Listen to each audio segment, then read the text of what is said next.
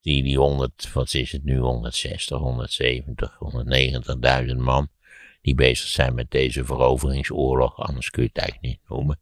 Eh, Dat is voor het hele land weinig. Dat, dat zal bij, bij een noodzake, als dat noodzakelijk is, bij een noodzakelijke bezetting van, van Oekraïne, eh, zal dat eh, nog omvangrijker moeten zijn en dat niet alleen permanent.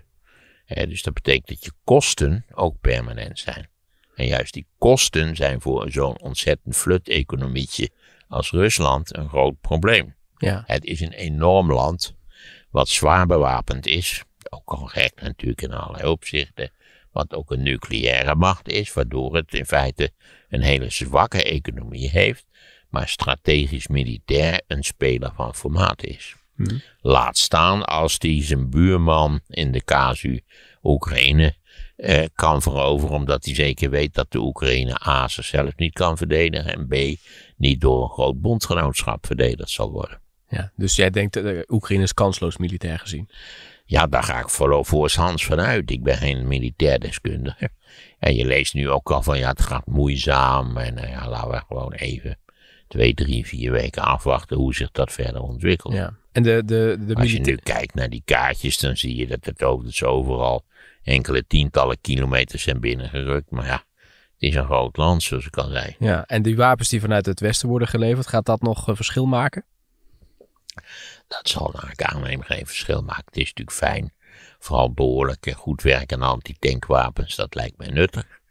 Eh, en, en natuurlijk, hoe heet het, eh, stingerachtige raketten waarmee je op eh, vliegtuigen kunt schieten. Ja, maar Met name die helikopters die natuurlijk ontzettend kwetsbaar zijn. ja, maar in Afghanistan is dat ook gebeurd destijds in de jaren tachtig. Zeker, hè, dat, dat heeft natuurlijk de Russen ook, ook in feite eh, tot de rand van de wanhoop gebracht in Afghanistan.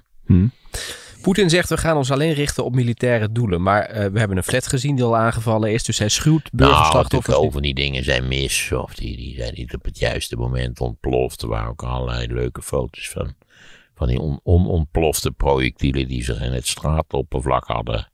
Dat is iets wat er in oorlogen altijd eh, gaande is. Eh, afzwaaiers, daar moet je, moet je rekening mee houden. Hoe vind je dat de president van Oekraïne het eh, het doet?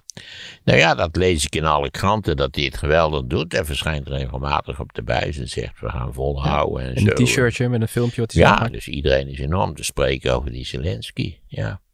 Ja. En hij, eh, want hij was ook eerst een komiek. Is eigenlijk nou ja, een soort van... ja, het is een acteur, dus ook, ook hij weet dit knap te spelen, zou ik zeggen. Ja, want de Amerikanen hebben al gezegd, hè, als je wil kun je naar ons toe komen. Dan helpen we je het land uitkomen. Maar hij zegt, heb ik niks aan. Ik heb... Nee, precies. En zijn familie is er ook nog. En nou, hij is notabene zelf een Russisch sprekende. In Oekraïne kun je Oekraïens spreken of je kunt Russisch spreken. Naarmate je oostelijker komt, wordt er meer Russisch gesproken. Naarmate je westelijker komt, wordt er Oekraïens gesproken.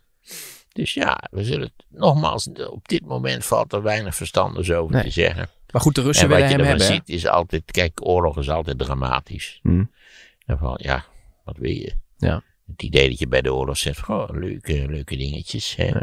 Misschien kunnen ook al die wargames-spelers ook eens zich even op het hoofd krabben. Hoe leuk en fijn het is om permanent wargames te spelen. Daar ben je toch ook niet goed snik. Sorry dat ik dat even Nee. moet zeggen. Maar goed, die, die Zelensky die is natuurlijk, die kan nu nog wel even blijven zitten. Maar die Russen gaan hem natuurlijk een keer te pakken Ja, krijgen. dat neem ik aan. Nou ja, dat, maar, maar de vraag of ze hem te pakken krijgen, dat moeten we afwachten. Maar dat het op een goed moment waarschijnlijk met zijn positie klaar is, dat mag je op dit moment aannemen. Nee. Is dan ook eh, het ergste gedeelte van de oorlog voorbij als ze hem hebben? Nou, dat denk ik niet. Ja, mijn hele theorie voor de toekomst is gebaseerd op het feit dat, dat er wel een, een, een, een prachtige begingame, nu we het toch over games hebben, gespeeld wordt. Maar dat de endgame natuurlijk volstrekt duister is. De endgames van interventies zijn lastig en meestal voor de agressieve beginner van de interventie lopen die slecht af. Maar goed, eh, Zelensky, het is wel een deurval, want hij blijft er wel zitten. En die burgemeester van Kiev ook met pistolen op filmpjes al. Die zei ook van, we gaan eh, we blijven ja, die zitten. burgemeester die was ook heel actief. Ja. Ja. Ja, de ene goed, ze hebben ook de burgers bewapend. Daar heb ik dan weer, voor zover ik iets weet van militaire kwesties, heb je niet zo verschrikkelijk veel aan bewapende burgers. Vechten moet je ook leren. Vechten moet georganiseerd zijn. Vechten moet gedisciplineerd zijn, anders wordt het niks. Mhm. Nou goed, en op de televisie... Maar goed, het, is, het, het, het oogt goed. En, en ja, het is natuurlijk ook van, kijk eens, we verdedigen ons. Ook hier geldt, Poetin heeft een investering gedaan in haat, in afkeer, in woede. Die is niet zomaar weg. Dat zal in de komende jaren een centrale rol spelen in Oekraïne. Ja. Wierduk zegt hij is ziek, Poetin. Geestesziek neem ik aan.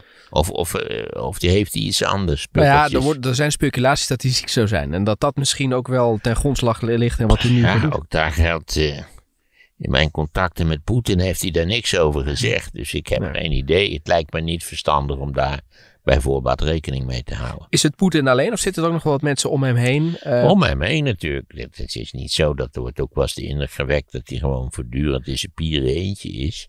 Althans, samen met die hond dan, die die speciaal had om Merkel bang te maken. Eh, maar, nee, ja, er is een kring om hem heen die hem steunt. Lavrov natuurlijk. dat zijn nou juist, eh, ja, Lavrov is een beetje een sympathieke lakij volgens mij.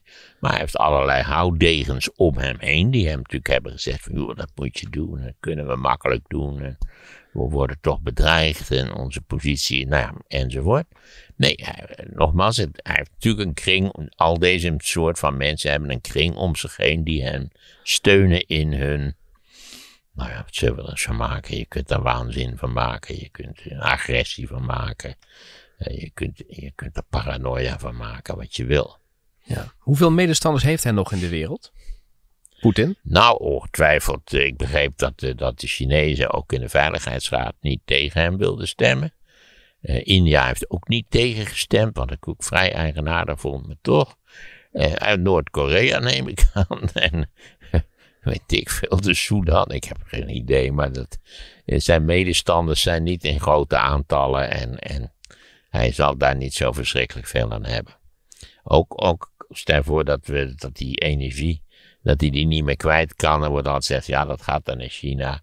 Daarvoor moet ook nog heel veel gebeuren voordat dat een beetje redelijk naar China zou kunnen lopen. Ja. Maar feit is, eh, ja, dat je energie ook over de komende periode in deze wereld gemakkelijk kwijtraakt. Ja. Maar China heeft inderdaad niet tegen hem gestemd, eh, maar ook niet voor hem gestemd. Ze, ze, ze hebben toch gezegd, ga maar praten. Het moet, eh, het moet toch wel Ja, ik woord- geloof dat iedereen eigenlijk wel vindt dat er gepraat moet worden.